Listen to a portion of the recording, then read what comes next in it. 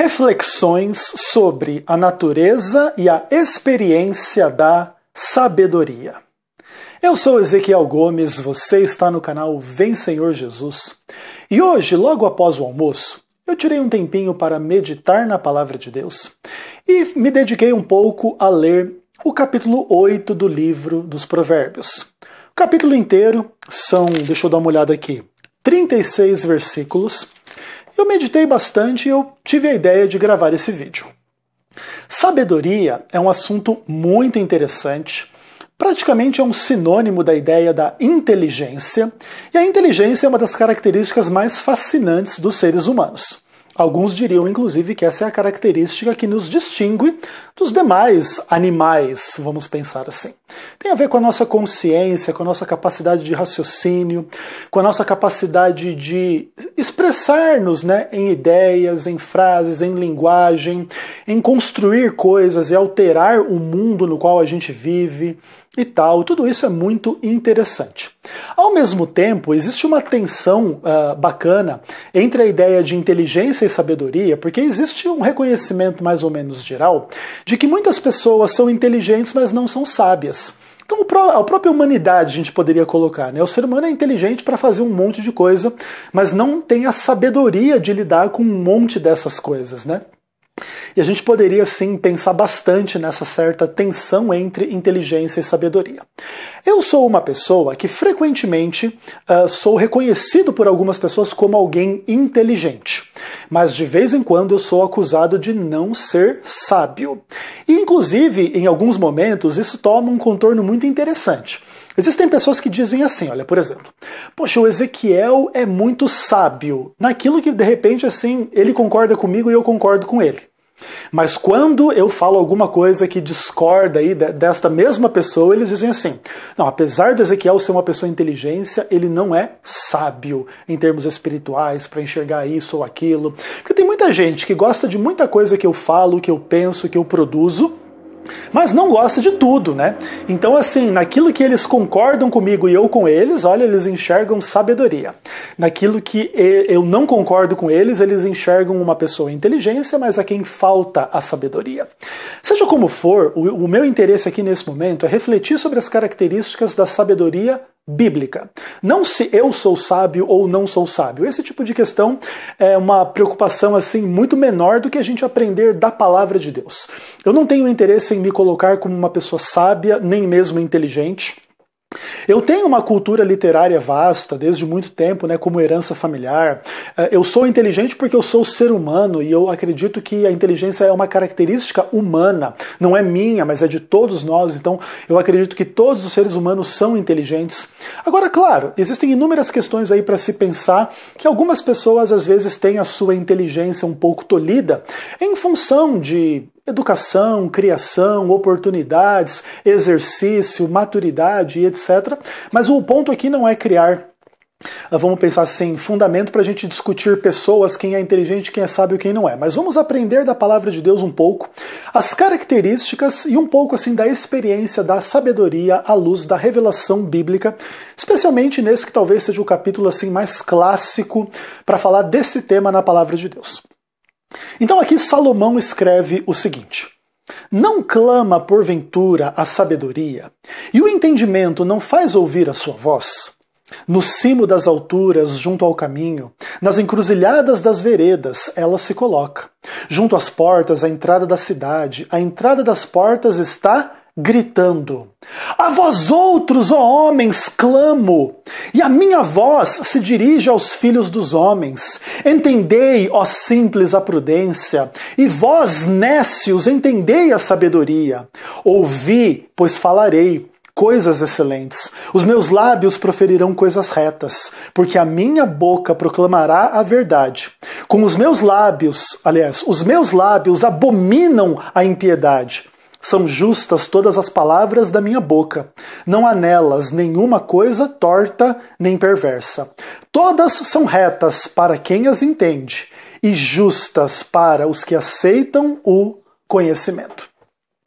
Aqui a palavra de Deus coloca a sabedoria como uma característica externa à humanidade. A humanidade aqui é descrita como nécia, como uh, simples, no sentido assim de gente ignorante, gente sem conhecimento, gente sem sabedoria. E a essas pessoas, a sabedoria toma a iniciativa de confrontar, de conversar, de instruir. Isso é muito interessante. Então, assim, isso pode parecer um pouco antagônico ao que eu disse, que eu falei que a sabedoria e a inteligência é uma característica humana, mas inclusive perceber isso já faz parte dessa característica. Uh, nós temos que ser inteligentes o suficientes para perceber a nossa falta de sabedoria ou falta de inteligência. E reconhecer isso é um princípio da inteligência e também é um princípio para mudar essa situação. Então aqui a sabedoria se coloca como alguém que vai atrás do ser humano, como alguém que fala, como alguém que clama, como alguém que tem algo sério e importante para dizer e vai atrás do ser humano para dizer, se coloca nos caminhos, nas portas, alça sua voz, clama, grita e etc. E ele fala o seguinte, uh, inclusive em primeira pessoa, né, a sabedoria dizendo: as minhas palavras são justas, não há coisa reta ou perversa uh, para quem as entende. Isso é uma coisa muito interessante. Uh, a sabedoria se manifesta no nosso mundo, mas muitas vezes ela é considerada como loucura. Inclusive, Paulo vai falar disso no Novo Testamento, né?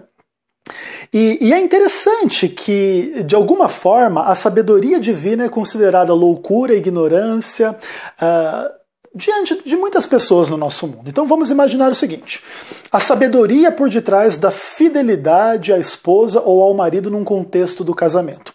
Tem muita gente que acha isso uma grande burrice, porque você não vai aproveitar a vizinha, a colega, a amiga do trabalho que está que tá dando mole, ou o vizinho, o colega ou amigo do trabalho. Tem muita pessoa que acha assim, meu, é muito burro você estar tá no mundo e não usufruir do que o mundo oferece em termos da sexualidade. Também poderíamos pensar assim: se você fosse um agente estatal e tivesse capacidade e poder de desviar milhões do dinheiro público para os seus amigos, para sua família, para si mesmo em contas na Suíça. Pô, tem gente que considera, meu, é muito burro quem tem essa capacidade, essa autoridade, esse cargo, esse poder e não faz isso. Então percebam que a sabedoria ela não é compreendida por todo mundo. E a gente poderia estender a sabedoria em relação a questões psicológicas, sociais, familiares, espirituais e, e etc. De qualquer forma, a sabedoria divina ela não é muito valorizada no nosso mundo como sabedoria. É por isso que depois o relato vai continuar dizendo o seguinte a partir do verso 10: Aceitai o meu ensino, não a prata o conhecimento antes que o ouro escolhido, porque melhor é a sabedoria do que as joias, e de tudo que se deseja, nada se pode comparar com ela. Basicamente, o que a palavra de Deus está dizendo para nós aqui é que através da sabedoria o ser humano pode ter acesso a coisas e horizontes tão maiores do que esse mundo oferece que nada pode ser comparado à sabedoria. Isso é uma forma bonita de colocar as questões, né? O mundo pode te oferecer sexo, dinheiro, prazer, violência, uh, satisfação de ego e um monte de coisa, mas não pode oferecer isso que é maior que o mundo, que é maior que os horizontes desse mundo. Aí o relato diz assim: eu, a sabedoria, habito com a prudência e disponho de conhecimento e de conselho. O temor do Senhor consiste em aborrecer o mal, a soberba, a arrogância, o mau caminho, a boca perversa. Eu as aborreço. Aqui também entra uma questão muito interessante. Assim como a sabedoria é, considerado, é considerada ignorante por pessoas no nosso mundo, a sabedoria também é considerada arrogante, soberba, um mau caminho, uma boca perversa que deve ser aborrecida. Então imagine o seguinte: imagine que a Bíblia deixe muito claro que só existem dois gêneros no mundo, homem e mulher. E aí você vai dizer isso para as pessoas. E hoje a gente está nessa discussão de ideologia de gênero e transgênero e homossexualismo e, e, e enfim, um monte de coisas nessa direção. Aí você vai lá e fala: não, gente, só existe homem e mulher. Não existe gênero no meio do caminho entre isso. Se é homem, é homem. Se é mulher, é mulher. E se você é mulher, não vai conseguir virar homem. Se você é homem, não vai conseguir virar mulher, e etc. Tem muita gente disposta a dizer que esse discurso é arrogante, que esse discurso é soberbo, que esse discurso é um mau caminho, como assim uma intolerância, uma falta de respeito e tal. E isso tudo é muito bacana. Inclusive, na própria, nas próprias discussões doutrinárias dentro da igreja, às vezes isso acontece, né? Então você está defendendo a doutrina bíblica da trindade. Aí vem o antitrinitariano herege dizendo que você é um arrogante, é um soberbo, está andando num mau caminho, seguindo o erro e tal, e você está pregando simplesmente a doutrina verdadeira sobre quem é Deus na palavra dele, do Senhor, né? Aquele que se manifesta como Pai, como Filho, como Espírito Santo, ao mesmo tempo são três e é um só Deus. Claro, essa é uma doutrina super interessante, super complexa, além da nossa racionalidade, né, e da nossa sabedoria, inteligência e conhecimento. Mas é interessante isso, né? Então, é, o, o, o confronto da verdade no mundo gera acusações contra a própria sabedoria bíblica e a sabedoria divina, como se fosse tudo isso. Mas o que, que aqui a palavra de Deus está dizendo é o seguinte. A sabedoria sabe discernir o que é verdadeiramente certo e verdadeiramente errado. E a sabedoria ama o que é certo e abomina o que é errado. E obviamente que para definir o que é certo ou errado, está implícito aqui que quem sabe fazer isso é, é, a sabedoria, é Deus que está por detrás da sabedoria em última instância. Né? É o conhecimento de Deus, é a inteligência de Deus, é a consciência de Deus. É por isso que ele que define o que é certo e o que é errado. É por isso que a lei dele, sendo transgredida, define o que é pecado. E assim por diante. Aí o texto continua dizendo assim: Meu é o conselho e a verdadeira sabedoria. Eu sou o entendimento, minha é a fortaleza. Por meu intermédio reinam os reis, e os príncipes decretam justiça. Por meu intermédio governam os príncipes, e os nobres e todos os juízes da terra. Eu amo os que me amam, e os que me procuram me acham. Isso aqui também tem implicações muito fortes para o momento que a gente está vivendo no Brasil no século XXI, no ano de 2017. A gente vê hoje um Congresso Nacional do Brasil extremamente carente de sabedoria. Então eles todos foram pegos com a boca na botija, caixa 2 é coisa assim disseminada, e roubalheira, e propina, e contratos espúrios e etc. E está faltando muita sabedoria para esse pessoal lidar com essa situação. Eles estão desesperados tentando uh, legislar em causa própria e se livrarem da justiça, e livrarem condenados da justiça e etc. Inclusive com a conivência de algumas pessoas do Supremo Tribunal Federal, vídeo Gilmar Mendes e etc. Então você vê, né? Se no Supremo Tribunal Federal está faltando sabedoria, se entre os grandes e poderosos que comandam a nação está faltando sabedoria, o que, que a palavra de Deus diz, né? A minha uh, é a sabedoria, né? É, é, o conselho. Eu sou o entendimento. Minha é a fortaleza. É por meu intermédio que os reis reinam e os, e os, e os príncipes proclamam justiça. Então, se a gente não tiver esta, essa sabedoria divina que vem de Deus, que vem da palavra de de Deus, vai ficar muito complicado você evitar o que é roubo, o que é adultério, o que é mentira, o que é cobiça, o que é vaidade. E os resultados disso na vida de uma família, de um país, de uma sociedade são extremamente complicados. É uma luta desvairada, é uma selvageria, é pessoa nadando em dinheiro e outra morrendo de fome a situação fica muito complicada, mas aqui acontece uma dinâmica interessante no texto, porque assim, ah, agora, inicialmente, a sabedoria está procurando o ser humano. Aí agora ela responde assim: Mas eu amo os que me amam e os que me procuram me acham. Então é mais ou menos o seguinte: inicialmente, a sabedoria ela faz uma propaganda. Vem que tem! E quem vem e busca encontra. É tipo assim, né? Então eu, eu tenho trabalhado um pouco com as moedas virtuais, Bitcoin, Dash e etc. E aí a gente diz: olha, venham conhecer o Bitcoin, o Dash, a blockchain, teologia, é, tecnologia revolucionária. Quem vem, encontra, conhece, lucra, se beneficia, entende aí essa revolução pela qual o nosso mundo está passando e etc. E a sabedoria tem uma dinâmica parecida com isso. Ela vem e se oferece mas ela só é encontrada verdadeiramente por quem busca. Isso aqui tem muito a ver um pouco com a salvação também, né? Deus oferece a salvação para todo mundo, mas quem vai encontrar a salvação no final é quem discerniu esta busca divina e este oferecimento divino e vai buscar e vai encontrar em Cristo a salvação. E o resultado disso tudo ele diz assim: riquezas e honra estão comigo, bens duráveis e justiça. Melhor é o meu fruto do que o ouro, do que o ouro refinado, e o meu rendimento melhor do que a prata escolhida, melhor que o Bitcoin, né? Ando pelo caminho da justiça, no meio das veredas do juízo, para dotar de bens os que me amam e lhes encher os tesouros. Tem muita gente que acha que para lucrar no mundo tem que ser esperto e deixa de ser sábio. E busca uh, lucrar prazeres, dinheiro, coisas e etc., num caminho que vai conduzir à escravidão, a vício, a pecado, a perdição. E, e a sabedoria que ela dá um tapa né, na cara de todo mundo dizendo assim: vocês estão buscando lucro, vocês estão buscando prazer, vocês estão buscando riqueza.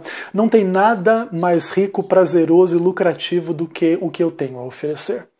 Uh, a gente sabe que o Bitcoin é um dos maiores casos de sucesso aí né, em relação a esse tipo de coisa, assim, investimento. Né? Teve gente que investiu 100 dólares no Bitcoin há, há 6, 7, 8 anos atrás e ficou bilionário, milionário. Não existe rendimento melhor do que esse na face da Terra em termos financeiros. Entretanto, perceba que a sabedoria ela pretende ser e de fato é um rendimento ainda melhor do que o Bitcoin, porque ela concede aquilo que é um tesouro verdadeiro. E o seu rendimento é melhor do que qualquer coisa que o mundo pode oferecer. Eu não vou continuar a leitura para esse vídeo não ficar cansativo, mas do verso 22 ao verso 36 também é o texto clássico, onde se fala ali da sabedoria, e inclusive algumas aplicações ali cristológicas. Né? Existe toda uma discussão a respeito disso, inclusive alguns arianos e antitrinitarianos usam isso para dizer que, que Jesus Cristo é a primeira obra divina que nasceu da ordem de Deus e etc. E depois, então, Deus e Cristo criam as demais coisas. Uh, essa é uma discussão que está um pouco além daquilo que eu gostaria de fazer nesse momento em relação a esse vídeo. Mas o, o, importante de vocês entenderem sobre essa sessão é o seguinte: a sabedoria é personalizada, a sabedoria é personificada em Deus e Cristo é a personificação de Deus, então em grande medida isso se aplica a Cristo sim. É, é como uma descrição inspirada da relação entre pai e filho, então o Senhor me possuía desde o princípio e, e etc. E estabelecemos os montes e tudo e tal, e como que essa criação acontece nesse ambiente né? O próprio livro de Gênesis já vai deixar isso claro, falando ali da própria presença do Espírito, a palavra, o Elohim, que é Deus e etc. Então, tudo muito interessante, mas eu gostaria de terminar simplesmente com os versículos 35 e 36 que dizem assim: Porque o que me acha, acha a vida, e alcança o favor do Senhor, mas o que peca contra mim violenta sua própria alma. Todos os que me odeiam amam a morte. Odiar a sabedoria é odiar aquilo que vem de Deus para nós, para nos tornar sábios para a salvação e para a vida nesse mundo também. Uh, o meu desejo com esse vídeo é inspirar você a estudar a palavra de Deus com clareza, com profundidade, com empenho, com afinco, para ser não somente uma pessoa inteligente, mas para ser uma pessoa sábia, amorosa, verdadeira, sincera, fiel, honesta. E se no meio disso tudo você for acusado de impiedade, de soberba, de arrogância, por causa da sabedoria, lembre daquilo que Jesus falou, né? Bem-aventurados quando forem caluniados por causa do meu nome. E o nome dele é o nome da sabedoria. Ele é aquele que é o sábio por excelência. E com a sua sabedoria guia não só o mundo, mas o universo inteiro. E é na sabedoria dele que nós confiamos. É a sabedoria dele que clama a nós para que a gente a busque. E quando a gente busca, a gente encontra.